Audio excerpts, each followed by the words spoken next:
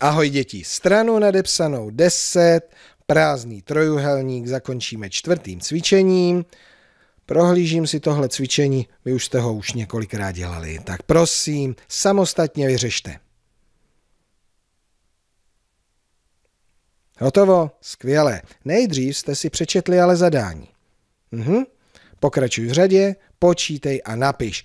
Pokračovali jste v řadě a stále jste přičítali dvě, takže 0 plus 2 rovná se 2, plus 2 rovná se 4, plus 2 rovná se 6, plus 2 rovná se 8 a protože to byla řada, kde se stále přičítalo 2, tak jste sem doplnili plus 2 rovná se 10. No a tady jste to vzali od zhora dolů, od nejvyššího čísla k nejmenšímu, takže se zase muselo stále, ale ne přičítat, ale očítat.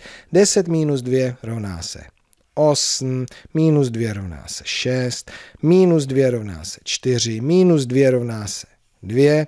No a aby ta řada byla úplná, stále minus 2 rovná se 0, řešení svítí zeleně. A teď mě napadá, někdo už možná dokáže počítat dál, jak do deseti. Dokázali byste v takové řadě, kdy stále přičítáte dvě, pokračovat i za desítkou? A někomu, kdo to, komu to matematicky fakt pálí, dokázali byste stále přičítat trojku? Nebo čtyřku? Pětku? Zkuste to.